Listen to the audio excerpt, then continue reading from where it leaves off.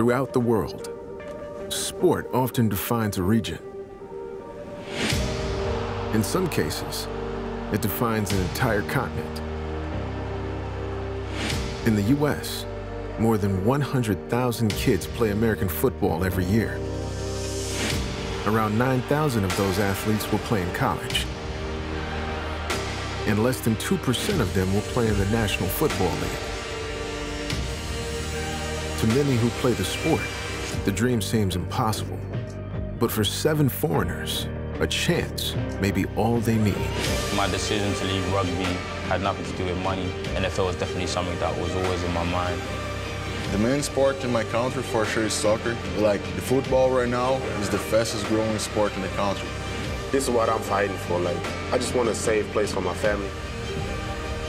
So much motivation to be here, fight for my dream. I want to prove the Mexican can play in the NFL. You know, I, I have the opportunity. I've always wanted this to happen. I've always dreamed for this to happen. But if you're in Germany, there are a lot of people that tell you this will never happen. Everyone's main focus is to get onto that 53, and you know, that's all what we're going to be driving for. But you know, I'm here now to, to prove that.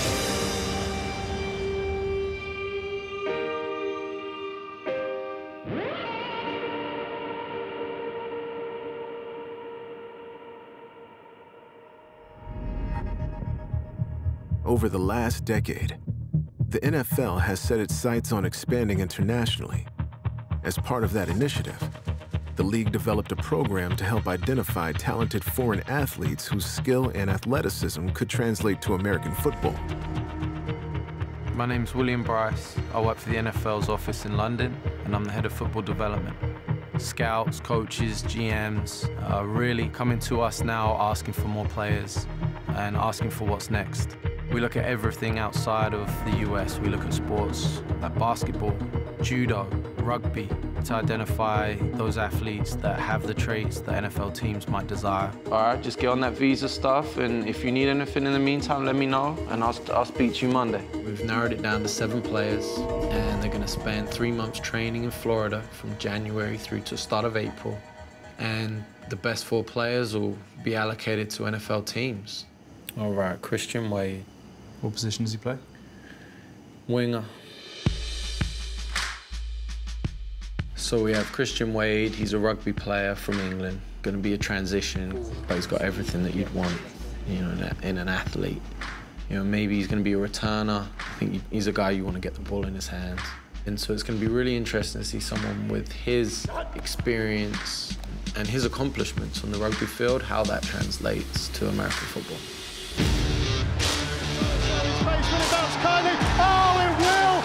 Christian Wade, a hat-trick! My athletic career in rugby, I won top try scorer of the league three times, and I currently sit third all-time try scorer in Premiership history. Christian Wade has another try!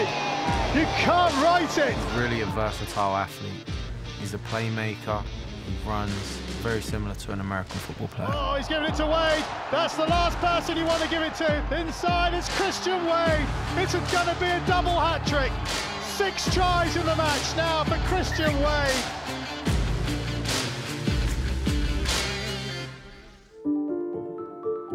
I'm from a small town just outside of London called High Wycombe. The way I was brought up in my family, everything to do with the family is obviously the most important thing closely followed by faith in God. My parents obviously always made sure that we did all our homework and did everything else before we were allowed to go and play. We've endeavoured to ensure that he does all the things that a normal child would do, but we were quite aware of his talents, uh, both in sports and in the area of music.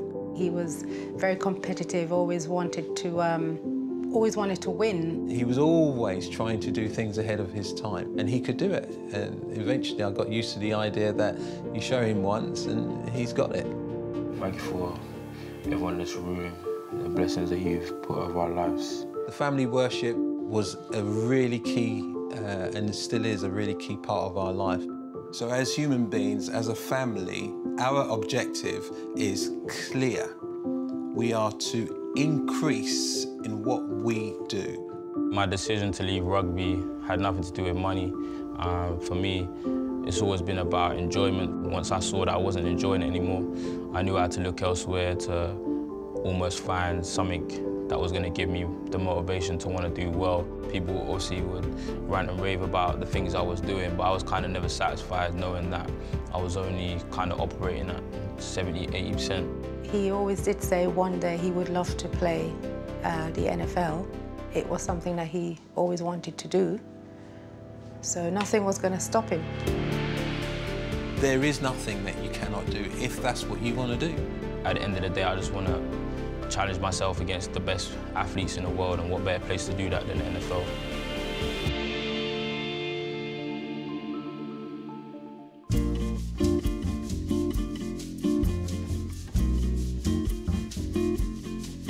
Living a farm is amazing. It's the, the best place you can live in the world.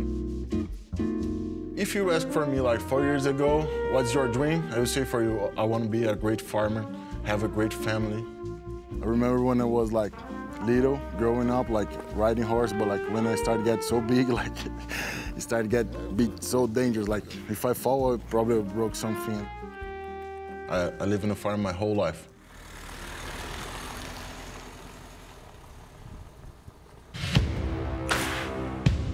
First time I met Duzão, I'll never forget it. He just came in, gave me a big hug, and damn near crushed me. Explosive athlete. Here's Durval Queiroz, defensive line from Brazil. And a bit of a freak. I've never seen someone move the way he can move. And you could see that he has something special. So I, I remember the one the time he didn't even know how to line up as a D lineman, you know. Uh, but Duzão, he was like, no, I'm not gonna let nobody beat me. You know, he can do some things that when you watch his film, people that size just can't do. He's 6'4", he's 330 pounds. And I was like, hey, if he really learns this game, he's gonna be violent in the NFL. So Maximo Gonzalez Sanchez. But this is the first time he's ever done these types of drills. Finishes. Mark it. Maximo Gonzalez, take one, soft sticks. Mi nombre es Máximo González, soy de la Ciudad de México, tengo 25 años y juego de outside linebacker. I'm proud to be a Mexican. I will be the first Mexican player to ever make the 53 roster in the NFL. I live with my mom, with my two younger sisters.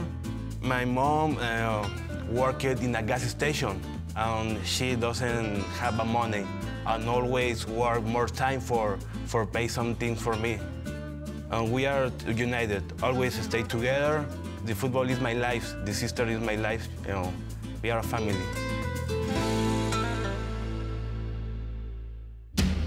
Maximo Gonzalez Sanchez, he's achieved uh, every honor in Mexico representing the national team.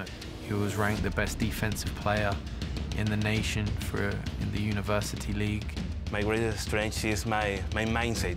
I always, I, I want to be the first, the best in everything. Maximo is warrior, you know, is, he plays with his, his heart and he plays for his family. Uh, so he's the best players in Mexico right now. Mein Name ist Jakob Johnson. Ich bin aus Stuttgart in Deutschland und mein Traum ist es, in der NFL zu spielen. Jakob Johnson is a fullback slash tight end out of Germany. Once Jakob graduated high school in Germany and he ended up attending University of Tennessee, for him to come in as a German and come in and start at linebacker is unbelievable. America is not the only place where you're going to find people that can run fast and catch a ball and, and play football, you know? And unfortunately for him, in his senior year, he tore his shoulder needed surgery, which really impacted his ability to prep for his pro day. In my mind, I was like, okay, this clearly this chapter of my life is over. He feels like he got the hard end of the stick, what happened to him in his senior season at Tennessee with his injury, so he's gonna go after this. It's, it's real simple. I wanna, I wanna prove that I can take this all the way. Moby, take two, soft sticks. My speed is there. Pow. Okay, let's go. Like, I'm ready. My name is Abdul Mubarak Djeri. you can call me Movi. I was born in Togo, West Africa, and I grew up in Germany. Mubarak grew up playing soccer and, you know, parents wouldn't let him play American football. Mom and dad said like, no, don't play football, you're gonna hurt yourself. My mom and my dad want me to play soccer. I told her, Mom, I have, on this Sunday, I have a game. If you want, come watch me. If you like it, I'm gonna keep going. If you don't like it, I'm gonna stop. And after that, she came to every single game that I played in Germany. You know, he was rewarded with that hard work um, by signing a contract with the Arizona Cardinals last year. Uh, I picked up the phone and it was like, the guy said, oh, I'm a scout from Arizona. Uh, we really like your tape and we, uh, we would like to invite you uh, for the tryout. And I was, I just started like crying. I was excited. Man, I've been working so hard. People saying like, I'm never, I'm never gonna make it. And right now I have the chance to go to Arizona and make my dream come true. I was in Arizona for five months. And then like one week before the season started, I just go down. They said like, yeah, we, we have to cut you. And I just started crying. Like, I just think about my mom, the stuff like, I don't know how to tell, to tell her. She was like, I'm really proud of you, like the man you became. My mom always say, try to say always positive. Try to say always positive because all the negativity gonna put you down. No matter how hard it is, you gotta keep going and to make it happen for your family because my mom's always make it happen for our family. Mein Name ist David Bada. Mein größter Traum ist, dass ich in der NFL spiele. David is again a guy that we've had our eye on for a number of years now, tracking his progress. My biggest threat is my long arms and my speed. He just loves football. That's all he wants to talk about, and that's all he wants to surround himself with. After my soccer career, I have nothing to do. I have a brother for me play football. They say, hey, come on, you're big, you, maybe you like football. And he's the player coming in that, you know, potentially say, tell you himself, who's very raw and needed to learn his body, learn how to use his body. I have a big family in Germany and Africa. Yeah, my parents from Ghana and Togo. My family is so proud of me. My, my wife Stephanie uh, support me, call me every day, say never give up, fight for your dream. This is for me a big motivation. Val Holmes, Sussex.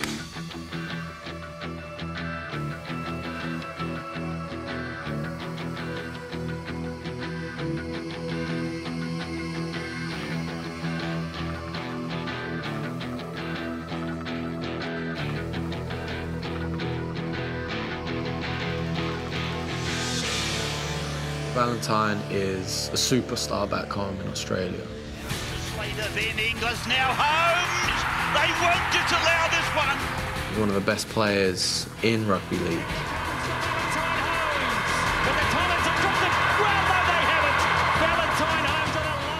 You know, it's been a massive sort of journey. I've played in a World Cup, I've played in, they call Four Nations. I always try and just give 100% in everything I do at training or on the field. You know, I try not to come off the field with any regrets.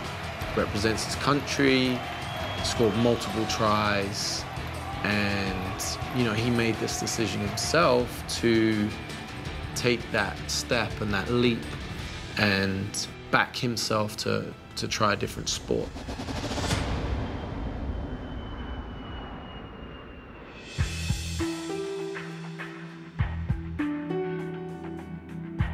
After traveling thousands of miles to the United States, there was little time for rest. Over the next three months, the focus is football. The NFL Pathway program has provided the prospects with some of the best coaches, trainers, and facilities in the country to help bridge the gap between the fundamentals and becoming a professional American football player.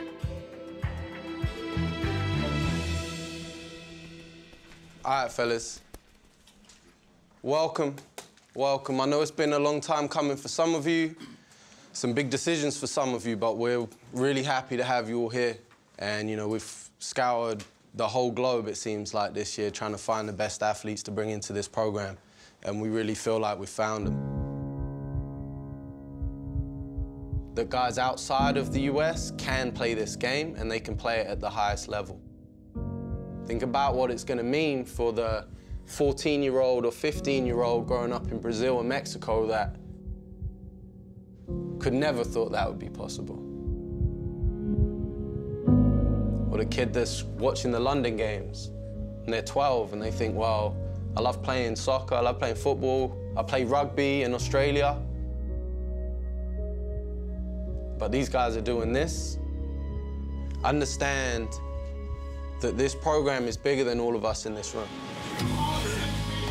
The Philadelphia Eagles select Jordan Mailata. This is just the third year of doing it, but it's changing the league. It's changing the perception of people in the league. You could change some people's lives. Now it's time to go to work.